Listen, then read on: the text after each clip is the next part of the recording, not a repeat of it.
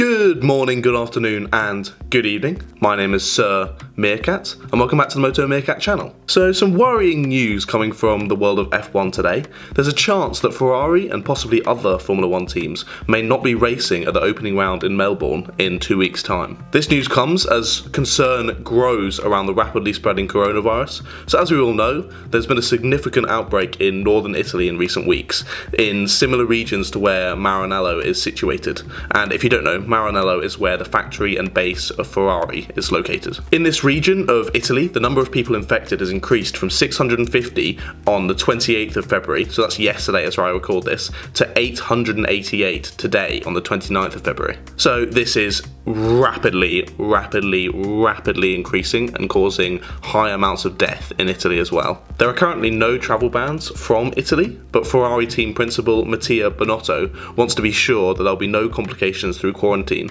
as their team arrives for the race weekend. Binotto said, We need to have insurance from their side as to what will be the situation. I understand it's an urgent matter. Other teams, such as AlphaTauri and the tyre supplier Pirelli, could also be affected.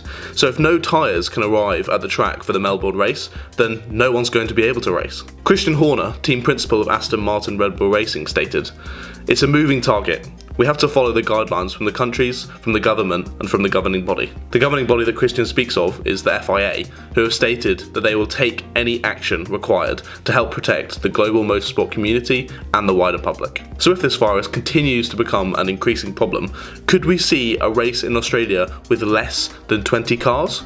Or will the race be postponed or even cancelled altogether? Only time will tell. But that's all for today, folks. Uh, only a little bit of a quick update on the Formula One world. All my thoughts and prayers go to the families who have been affected or who have even sadly lost someone to this virus. Hopefully, it can be contained soon and eradicated. But if you learned something from this video, make sure to drop a like on it and share it with your friends to educate them too. Also, my analytics tell me that over 80% of you watching right now are not subscribed. So click that red button down below and hit the bell too to receive notifications as to when I upload new videos to the channel. Anyway, I've been Sir Meerkat and I'll see you next time. Bye guys.